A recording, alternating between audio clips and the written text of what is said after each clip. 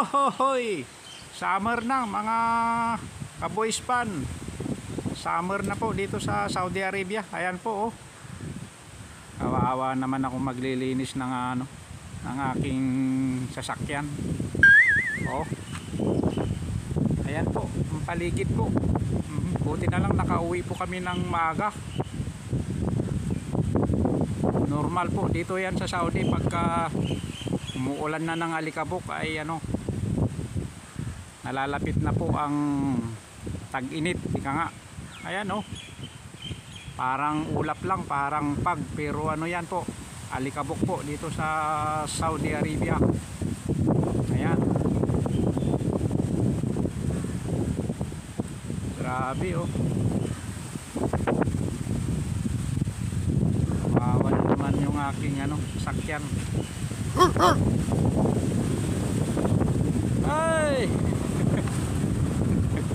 eh taga-deliver na pagkain po dito sa loob ng ano Sunset Beach.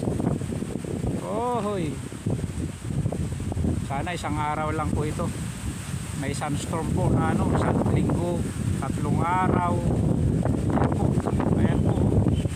Umpisa ng mag-alikabok yung aking ano aking jeep. Oh hoy sana nga pagdating ng ano, pagdating ng aming bisita ay wala ng sunstorm. Sunstorm. Yan.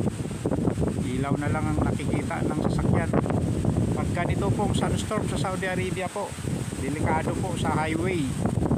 Halos hindi na po makikita ang ilaw po ang sasakyan kaya nag ano, naka-hazard na lang po yung ibang ano, sasakyan. Ayan po. oh. ang jeep ni Boys Bandi na nakiparada lang dito sa amin. Ito yung mga maintenance oh. tuloy. Hello! Good! Ay pasok na po tayo. Mhm. Tayo'y magkape I'm wasting